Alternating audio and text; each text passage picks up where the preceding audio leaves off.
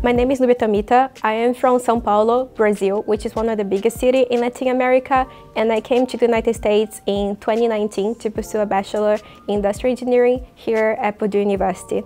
I also had the opportunity to join GEARE, the Global Engineering Program, through which I did a study abroad in Milano, Italy.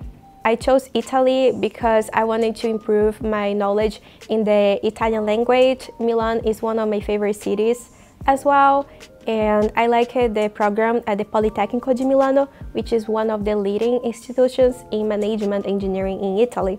And I was taking master classes related to economics, finance, and entrepreneurship. So the classes were also something that led me to choosing this program. The classes I took were mainly technical electives, and I have an interest in finance. So for example, my previous internships were related to financial consultancy in banks in Brazil. So I wanted to improve my knowledge in economics and I also have a very big interest for entrepreneurship because in the future I want to start my own company. So I really like taking entrepreneurship classes. One of the main differences is that here in America we have a more direct way of communication. We are more objective, while in Italy they are very indirect. Here in America, in my group projects, when I'm working with engineers at Purdue University, usually we will meet up for 15 minutes and decide the tasks of each person and then the person will do those tasks by themselves at home and then meet up very quickly to discuss again.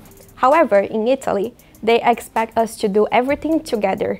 So we would meet for four hours in one day and we would work together instead of taking it home. So it was one of the main differences that I had to adapt to. So since I am an international student from Brazil, in Brazil we are much more similar to the Italian work style than here to America. So I have to admit that I was already used to that in a certain way. But coming here to America, I had to adapt to the American style, uh, American teamwork. And then going to Italy, I had to adapt again because I was already used to the way it is here. And I feel like being flexible in the way you work, being understanding and knowing how to adapt and how to change your behavior in order to fit the culture of the country that you're in is very helpful for any career. The food. I love the Italian food. You go two hours north of Milano, you can go skiing in the mountains. Then if you go two hours south, you can go to the beach. And it's very easy to take flights to other nations and it's very affordable as well. So that was certainly one of the highlights of the study abroad experience.